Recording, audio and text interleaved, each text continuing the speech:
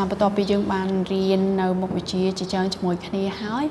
ឥឡូវសូមកលេចមើលទៅលើការសរសេរទៅលើអក្សរផ្ចង់របស់យើងវិញម្ដងដែលក្នុងថ្ងៃនេះយើងនឹងធ្វើអក្សរផ្ចង់នៅអក្សរប៉កូនស្គាល់អក្សរប៉ចាអក្សរប៉នៅទីនេះចានៅក្នុងសភៅ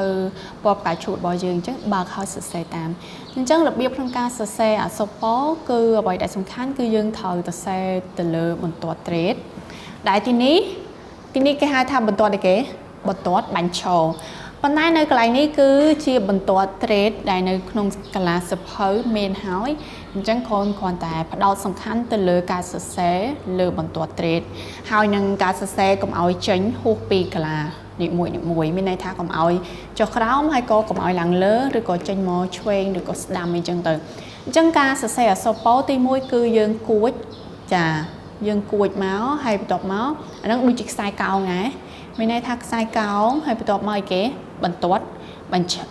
លើបន្ទាត់ trade ពីក្រោមឡើងទៅលើហើយបន្ទាប់មកយើងប្រើបន្ទាត់ trade ចាបន្ទាត់ trade បន្ទាត់ trade trade ហើយបន្ទាប់មកយើង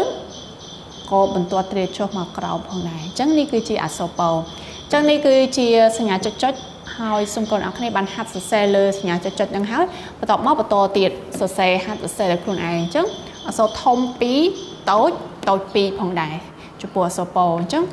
ក្នុងការដែលសរសេរសូមយកចិត្តទុកដាក់សរសេរតាមអ្វីដែលជាគំរូបានឲ្យអញ្ចឹងនៅទីនេះគឺជាបន្ទាត់ trade ដូច្នេះកូនត្រូវតែសរសេរបន្ទាត់ trade